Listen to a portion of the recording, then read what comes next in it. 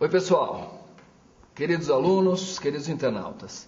Essa prova de 2007 foi bem mais tranquila do que a do ano passado e você não tinha razão nenhuma para ter deixado alguma delas em branco. Não tinha. Pelo menos intuitivamente dava para responder todas elas. Vou dar uma olhada de um segundinho em cada uma. Vamos lá. Primeira, você tinha que comparar o modo de produção asiático, Egito e Mesopotâmia, com o modo de produção escravista, Grécia e Roma. Muito fácil, tranquilona. A segunda era mais fácil ainda.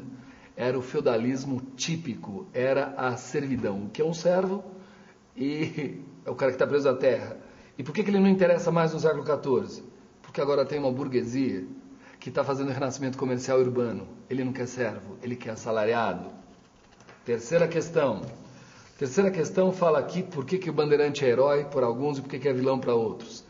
Herói porque é um grande desbravador, descobridor de riquezas e aumentou as nossas fronteiras.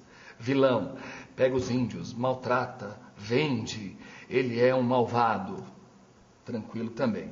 Não estava difícil não. A quarta é a única que tem um texto, é uma poesiazinha, um versinho, e que te pergunta aqui qual, o que motivou os inconfidentes. As ideias iluministas, liberté, égalité, fraternité. E quais as mudanças que eles propunham? Muitos deles propunham a grande mudança. Sair daquela, daquele estado de política imperial para uma república. Basicamente isso. Quinta questão: quais os ideais da Revolução Francesa? E quais os ideais da Revolução Industrial na Inglaterra? Gente, Revolução Francesa. Ideais iluministas, qualquer um que você colocasse valia. É igualdade jurídica. Revolução Industrial, liberalismo econômico, nova proposta de espírito de lucro, produção, trabalho assalariado. Quais movimentos influenciaram?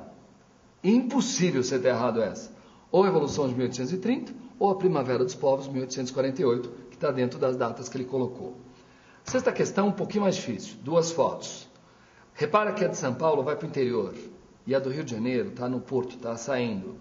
Então São Paulo produzia policultura e era um comércio de distribuição tropeiro, caminhoneiro da época. Os caras ficavam na mula, levando coisas para o Rio de Janeiro, Mato Grosso, Paraná, Santa Catarina, etc. E o Rio de Janeiro? Bom, o Rio de Janeiro exportava e importava. Exportava o que o Brasil tinha para produzir e importava todos os manufaturados e escravos. Culturalmente, Rio de Janeiro tem teatro, biblioteca, jornais, é, direto a ligação com a Europa. Brasil, roça, vamos na quermesse da Praça da Igreja, era o máximo que tinha de vida cultural. Sétima, América Espanhola, mudanças no século XIX, é a ferrovia, que serve para escoar com maior eficiência matéria-prima para a Europa. Qual é o contexto? Imperialismo, neocolonialismo, dependência americana e dependência da Inglaterra, tanto a América Espanhola como o Brasil. Oitava, Semana de Arte Moderna. Rompe culturalmente com os antigos valores, porque agora temos valores urbanos, novos, é, gente da cidade que pensava diferente do, da caipirada lá do interior daquela época. Pessoal do interior, não se ofenda. Calma aí, tranquilo. E o Estado Novo? O Estado Novo é a cópia lá do Mussolini. É ufanismo, ultranacionalismo. Vamos unir o capital e o trabalho, tudo pela nação. Espero que você tenha esbarrado por aí. Questão número 9. Predomínio de São Paulo era a oligarquia paulistana, o PRP.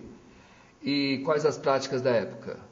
Prática do voto da época eleições, gente, porrada, violência, voto do cabresto. Mais tarde isso vai se chamar a política de governadores. O cara é eleito, mas a elite aprova ou desaprova. E a última, que era aquela questão maravilhosa. O Vietnã com o movimento dos estudantes. Os estudantes hoje são esta massa amorfa, manipuladas para o consumo, porque pede dinheirinho para o papai para ir para balada e não faz mais nada na vida. Naquela época, estudante era classe forte em termos políticos, ia para a rua, gritava e mudava o mundo. Então não reclama dos caras de 60 anos, não, porque eles mudaram o mundo. Por isso você pode usar cabelo comprido, brinco, piercing, etc. Porque esses caras bateram de frente com os valores daquela época. E pílula anticoncepcional é movimento hippie, sexo, drogas e rock and roll. Nunca ouviu falar em Woodstock? Pô, quem nunca ouviu falar em Jimi Hendrix? Aquele monstro lá pílula anticoncepcional dava à mulher a chance de trabalhar, entrar, ser inserida no mercado de trabalho é, sem se preocupar com a gravidez. Isso foi uma mudança radical. E traz uma das maiores revoluções da, dos últimos 5 mil anos. a igualdade de possibilidade sexual entre homem e mulher. Agora, os dois transam e ela não é obrigada a levar o neném para casa. Mudou ou não mudou? Você aí, minha amiga, minha aluna, tua vida não mudou? Pergunta como era a vida da tua avó. Você vai ver a diferença. Gente, prazer em revê-los. Feliz ano novo nessa faculdade nova que você entrou, tá? Fiquem com Deus. Tchau, tchau.